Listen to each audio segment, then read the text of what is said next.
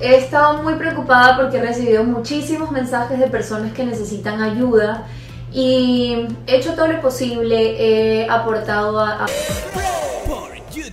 Hace unos días, una noticia conmocionó a todo el mundo. En Chile, cientos de personas protestaron para que retiren a los extranjeros venezolanos de una plaza principal.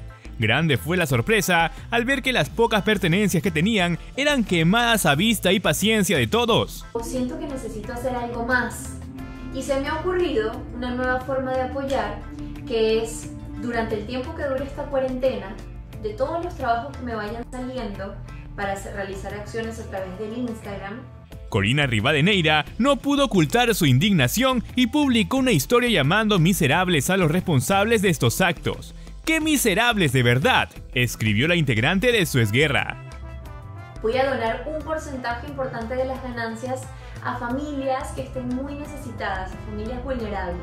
Corina Rivadeneira se encuentra en nuestro país desde hace varios años y ha construido una familia junto a su esposo Mario Jara. Sin embargo, en la cuarentena pidió al gobierno peruano un bono especial para sus compatriotas. Pues les cuento que el gobierno ya está cumpliendo con el subsidio monetario que se les prometió y yo voy a dejar un swipe up para que llenen los datos allí y vean si a ustedes les corresponde o cómo aplicar. La modelo también apoyó desde sus redes sociales exponiendo casos y apoyándolos económicamente. He estado muy preocupada porque he recibido muchísimos mensajes de personas que necesitan ayuda y he hecho todo lo posible, he aportado a, ONGs, tanto ONGs peruanas como ONG venezolanas, que son las que, las que conozco, las que me han llegado. Tenemos más información para ti, suscríbete, dale like y sé parte de Bray.